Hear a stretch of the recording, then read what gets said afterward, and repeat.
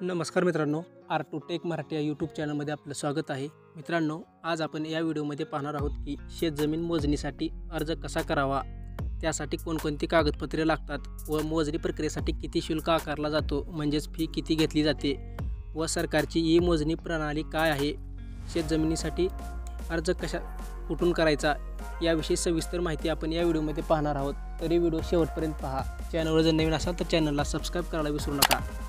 मित्रांनो शेतजमीन मोजणीसाठी अर्ज कसा करावा? अनेकदा आपल्या सातबाऱ्यावर जितकी शेतजमीन नमूद केली आहे तितकी प्रत्यक्षात दिसत नाही असा प्रश्न शेतकऱ्यांच्या मनात येतो. त्यामुळे मग आपल्या जमिनीवर शेजारच्या शेतकऱ्यानं अतिक्रमण केलं की काय अशी शंका आपल्या मनात येते. ही शंका दूर करण्यासाठी शेतजमिनीची शासकीय पद्धतीनं मोजणी करणे हा पर्याय त्यांच्यासमोर असतो.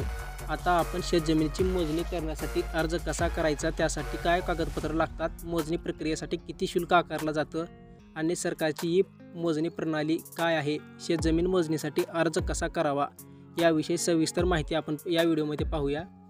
या अर्जाचा नमुना सरकारच्या भूमी अभिलेख dot Maharashtra dot G O V dot in या वेबसाईटवर उपलब्ध आहे. आता हा अर्ज कसा भरायचा ते पाहूया. मोजणीसाठी अर्ज असं या शिल अर्जाचं शीर्षक आहे. यामध्ये सुरुवातीला तुम्ही ज्या तालुक्यात कार्यालयात सा अर्ज सादर करत आहात त्या तालुक्याचं आणि जिल्ह्याचं नाव टाकायचं आहे. त्यानंतर पहिल्या पर्यायापुढे अर्जदाराचं संपूर्ण नाव आणि पत्ता याविषयी माहिती द्यायची आहे. यात अर्जदाराचं नाव गावाचे नाव तालुका व जिल्ह्यांचे नाव लिहायचे आहे. त्यानंतर मोजणी करण्यासंबंधी माहिती व मोजणी प्रकारांचा तपशील हा दुसरा पर्याय आहे. यातील मोजणीचा प्रकारास प्रकारासमोर मोजणीचा कालावधी आणि उद्देश लिहायचा आहे. यापुढे तालुक्याचं नाव गावचं नाव आणि शेतजमीन ज्या गट क्रमांकात येते तो गट क्रमांक टाकायचा आहे. तिसरा पर्याय आहे सरकारी खजिन्यात भरलेली मोजणी फीची रक्कम. यासमोर मोजणी फीची रक्कम लिहायची आहे आणि त्यासाठी चलन किंवा पावती क्रमांक आणि दिनांक लिहायचा आहे. आता इथं एक गोष्ट लक्षात ठेवायची ती म्हणजे मोजणीसाठी जी शुल्क आकारली जाते तिची रक्कम किती क्षेत्रावर मोजणी करायची आहे आणि ती किती कालावधीत करून घ्यायची यावरून ठरत असते. जमीन मोजणीचे सर्वसाधारणपणे तीन प्रकार पडतात. यात साधी मोजणी सहा महिन्यात कालावधीत केली जाते. तातडीची मोजणी तीन महिन्यामध्ये तर अति तातडीची मोजणी दोन महिन्याच्या आत केली जाते.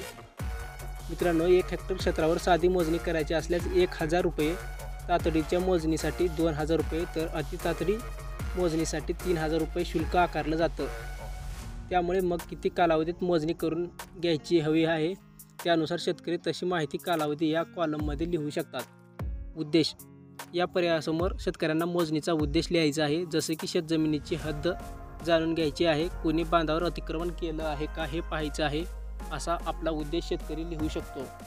त्यानंतर चौथा पर्यायात आहे मित्रांनो सातबारा उताराप्रमाणे जमिनीचे सहधारक म्हणजे ज्या गट क्रमांकाची मोजणी आणायची आहे त्या गट क्रमांकाचा सातबारा उतारा एकापेक्षा अधिक जणांच्या नावावर असेल तर त्याची नाव पत्ता आणि मोजणीसाठी त्या सगळ्यांची संमती आहे. अशा संमतीदर्शक सह्या आवश्यक आहेत.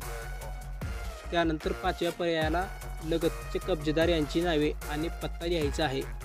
यात तुमच्या शेताच्या पूर्व पश्चिम आणि दक्षिण उत्तर या चार दिशांना ज्या ज्या शेतकऱ्यांची जमीन आहे त्या त्या शेतकऱ्यांचे नाव आणि पत्ता त्या त्या दिशेसमोर लिहायचं आहे. सगळ्यात शेवटी सहाव्या पर्यायासमोर अर्जासमोर जोडलेल्या कागदपत्राचे वर्णन दिलेलं आहे.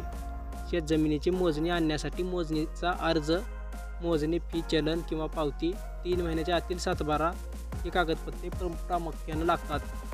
जर तुम्हाला शेत जमिनीव्यतिरिक्त इतर जमिनीची असलेली स्थावर मालमत्ता म्हणजे घर बंगला उद्योगाची जमीन यांची मोजणी करायची असेल किंवा हद्दी निश्चित करायची असेल तर तीन महिन्याची मिळकत पत्रिका आवश्यक असते. ही सगळी माहिती भरून झाली की कागदपत्रासहित मोजणी अर्ज कार्यालयात जमा करायचा आहे. मित्रांनो स्थावर मालमत्ता म्हणजे घर बंगला उद्योगाची जमीन यांची मोजणी करायची असेल किंवा हद्दी निश्चित करायची असेल तर तीन महिन्याची मिळकत पत्रिका आवश्यक असते. ही सगळी माहिती भरून झाली की कागदपत्रासहित मोजणीचे मोजणीचा अर्ज कार्यालयात जमा करायचा आहे. एकदा का अर्ज जमा केला की तो ई मोजणी प्रणालीत फीड दाखल केला जातो. त्यानंतर शेतकऱ्यांच्या कागदपत्राची तपासणी केली जाते व मोजणीसाठी किती फी लागणार आहे याचं चलन जनरेट केलं जातं. त्या चलनाची रक्कम शेतकऱ्यांनी बँकेत जाऊन भरायची असते. त्यानंतर मोजणीचा रजिस्ट्रेशन नंबर म्हणजे नोंदणी क्रमांक तिथं तयार होतो.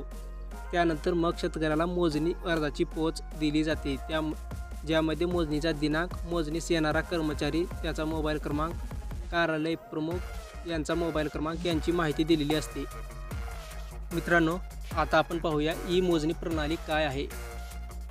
आता आपण जी प्रक्रिया पाहिली ती ऑफलाईन पद्धतीची आहे. यात शेतकऱ्यांचा बराच वेळ जातो. त्यामुळे महाराष्ट्र सरकारने भूमी अभिलेख विभाग ऑनलाईन पद्धतीने जमीन मोजण्याची प्रक्रिया ला राबवत आहे.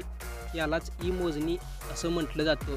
सध्या यासंबंधी सॉफ्टवेअर विकसित करण्यास काम सुरू आहे. याविषयी सतीश भोसले उपसंचालक भूमी अभिलेख संलग्न जमाबंदी आयुक्त भूमापन पुणे. यांनी बी बी सी मराठीला सांगितलं की जमीन मोजणीचा अर्ज करण्यापासून ते मोजणीची नक्कल म्हणजे प्रत डाउनलोड होईपर्यंत सगळी प्रक्रिया शेतकऱ्यांना घरी बसून करता यावी यासाठी भूमी अभिलेख विभाग प्रयत्नशील आहे. त्यासाठी ही मोजणी प्रणाली राबवत आहे. या अंतर्गत शेतकरी स्वतः मोजणीचा अर्ज इंटरनेटवरून भरू शकतील. तसंच मोजणीची प्रक्रिया कोणत्या टप्प्यावर आली याची माहिती पाहू शकतील. मित्रांनो व्हिडिओ आवडल्यास व्हिडिओला लाईक करा. चॅनलवर जर नवीन असाल तर चॅनलला सबस्क्राईब करायला विसरू नका. अशाच नवनवीन माहितीसाठी आपल्या टेलिग्राम ग्रुपला जॉईन व्हा.